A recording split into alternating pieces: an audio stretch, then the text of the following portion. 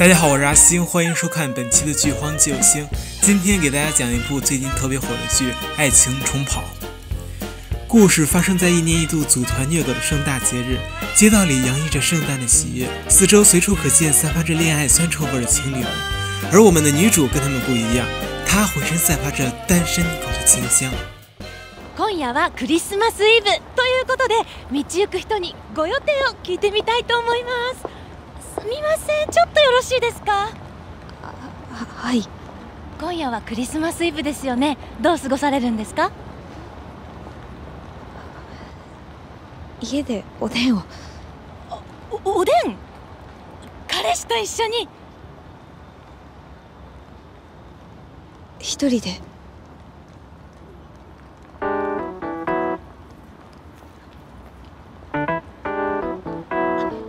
忙しいところ失礼しました。じゃあちょっと違うカップル行ってみましょうかね。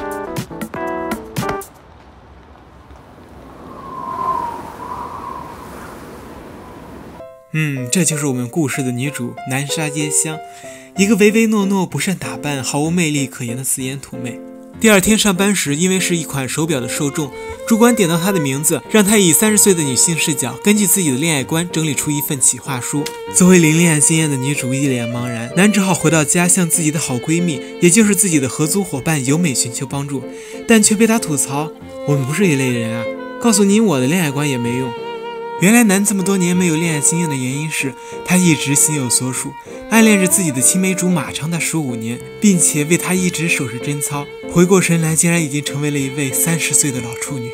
由美建议他放弃青梅竹马，另寻新欢，但却遭到了女主的拒绝。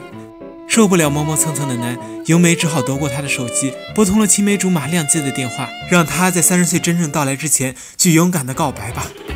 30になる前に告ってこい待ってもしもしさやか？りょりょうちゃん。ああの今から会えないかな。在居酒屋一番寒暄之后，男得知这几天小亮跟女朋友好像并不顺利，于是他试探地问小亮：“后天有什么事儿吗？”小亮一边回答说没有什么事儿，一边更是主动约女主一起庆祝生日。尽管男觉得在小亮和女朋友关系不太好的时候这么做有些乘人之危，但由美却告诉他，恋爱就是战争，这十五年的感情是否能够传达给小亮，就得靠后天的告白了。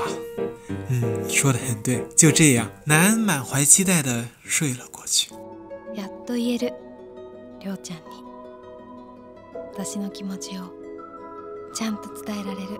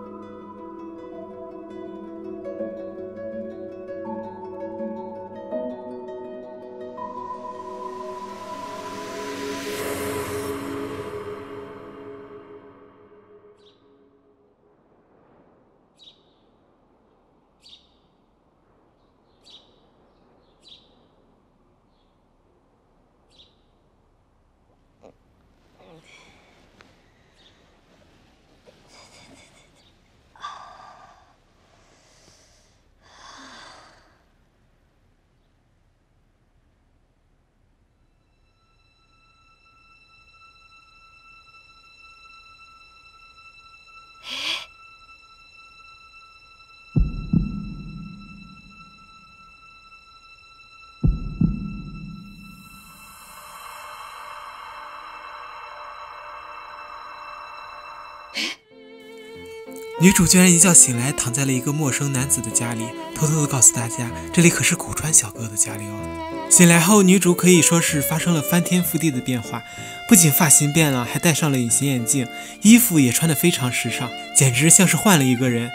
不过这还没完，之后女主又被古川小哥哥告知，自己的初夜初吻都被他睡没了，还跟他同居了很久一段时间。这要换成某些人可能会开心死吧，但是单恋了青梅竹马十五年的男却表示很不开心。私が絶対にそんなはずないですじゃあ教えてあげますよあなたはもう処女ではないですし初めての相手はこの俺ですあついでに言うと俺たちもう別れてるんで 早いとこ出てってくださいね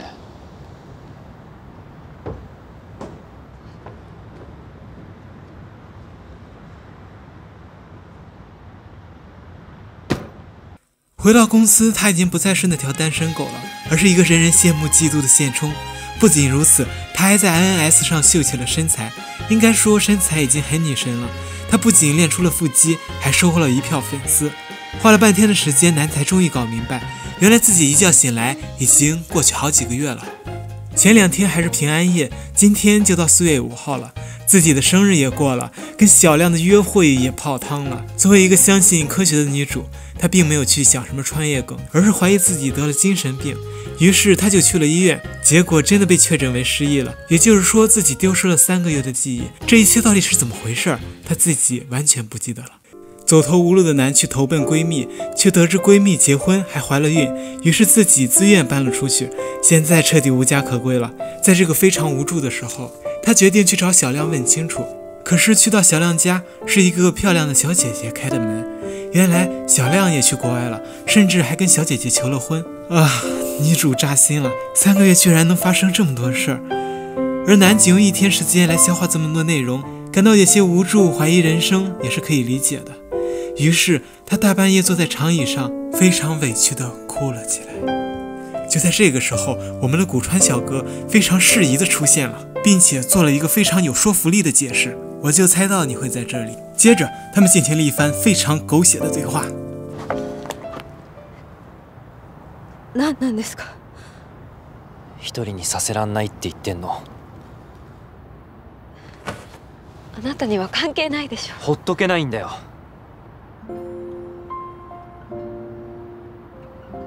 俺たち一応付き合ってたんだから。付き合ってたって言うけど私はあなたなんて知らない。何にも覚えてない。ただ覚えてるのはずっと好きな人がいたってことだけ。だからあなたを好きになるはずない。俺は好きだったよ。好きだったからキスしたし好きだったから抱いた。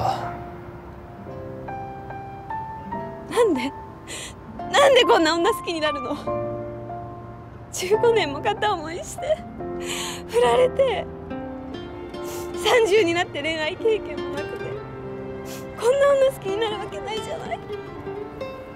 今のあんたじゃね俺の知ってる南さんは私なんかっていうような人じゃなかった在自我怀疑和困顿之后，南终于鼓起勇气告诉古川小哥，他想回忆起这份丢失的记忆，想通过和熟悉的人一起生活来想起他那段被忘掉的三个月。最后，南搬回了古川小哥的公寓，并约定他睡在卧室，古川小哥睡沙发。哼，但是一觉醒来又高能了。哎，你们俩不是说好分开睡的吗？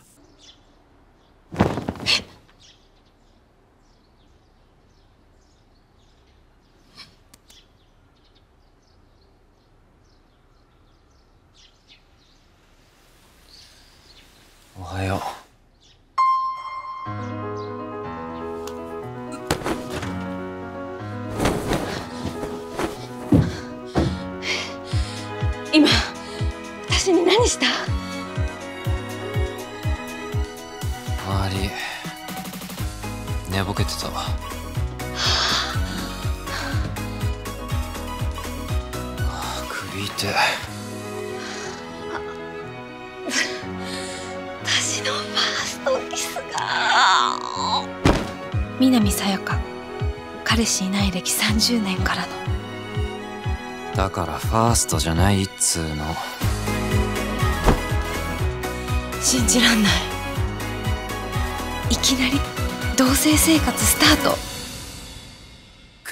あんたにセフレ？やったことないです。寝た男の顔忘れちゃったの？俺だから少女は。お前は一人じゃないんだから。ちょっと来て。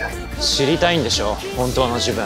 今夜中にここを出るって決めたから。まさかのビッチ